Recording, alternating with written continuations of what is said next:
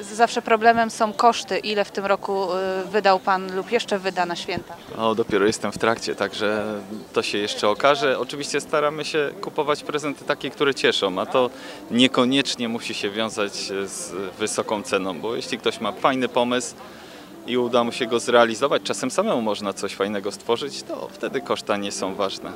Nie wydaje dużo. Nie mam tutaj takiego popytu na prezenty jakieś drogie czy potrzebne. No w zasadzie większość rzeczy w tej chwili to już się dubluje w domu jak się ma, nie? Szczerze to nie liczę, bo to na pewno jest dosyć duża suma, ale jeszcze nie robiłem ogólnego rachunku. No i ciężko, ciężko teraz powiedzieć, no ale wiadomo, no, prezenty kosztują, prawda?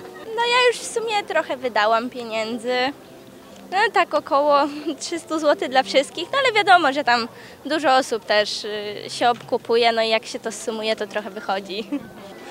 powiem e, między 500 a 1500.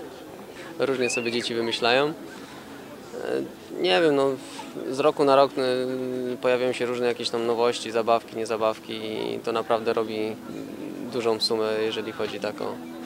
Jak jeszcze jak na nasze polskie realia, to jest spora suma podług tego, co się zarabia. A jak oceniacie tutaj y, jarmark? Coś nowego, zdecydowanie coś nowego. E, Wielkie zaskoczenie, tak samo jak ten zamek tutaj, co jest zrobiony. No i w sumie fajnie przyjść sobie popatrzeć, nawet coś kupić, tak podglądam, no ale może na coś się skuszę. Ja uważam, że naprawdę bardzo fajna inicjatywa, że coś takiego powstało. No, można powiedzieć, że wreszcie coś się dzieje tutaj w święta. Ten zamek naprawdę bardzo fajna atrakcja dla dzieci. No ładnie, no tak dopiero na połowie tutaj jestem do tej pory, teraz muszę tam jeszcze w koło przejść, zobaczyć, obejrzeć co tam się święci, co się dzieje. Bardzo dobrze, bardzo dobrze. Uważam, że jest to świetny pomysł, który funkcjonuje już od wielu, wielu lat y, w innych miastach w Polsce.